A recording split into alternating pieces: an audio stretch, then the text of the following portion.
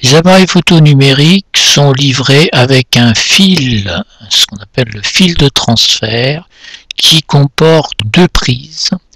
Une prise euh, qu'on appelle la mini USB, donc petite prise euh, miniature qui va se brancher sur l'appareil lui-même.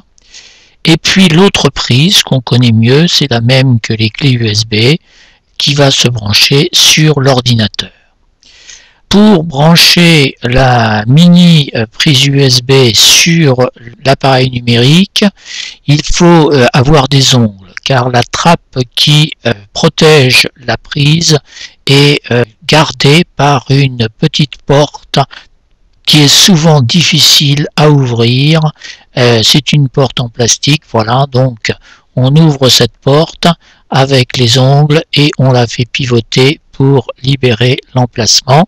Puis on va brancher la mini prise USB sur l'appareil, donc en enfonçant dedans. Il faut bien sûr faire attention, il y a aussi un sens comme pour les prises USB qui vont sur l'ordinateur. Et puis une fois que c'est fait, on va brancher l'autre extrémité du fil sur une des prises USB de l'ordinateur. Ça nous savons faire, c'est comme une clé USB. Et une fois que ces branchements sont faits, nous allons appuyer sur ce bouton, appuyer un petit peu longuement, et ça nous ouvre à l'écran cette image.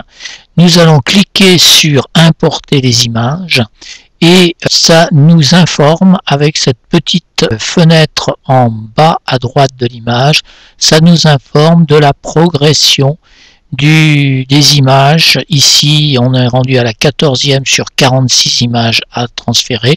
Et là, les images apparaissent quelques secondes en miniature jusqu'à ce que toutes les images soient transférées de l'appareil photo à l'ordinateur et à ce moment-là cette fenêtre s'ouvre montrant donc le dossier euh, d'image qui a été créé avec toutes les photos. Alors ce sont des copies de euh, ce qu'il y a dans l'appareil c'est à vous maintenant de transférer des photos de votre appareil photo à votre ordinateur.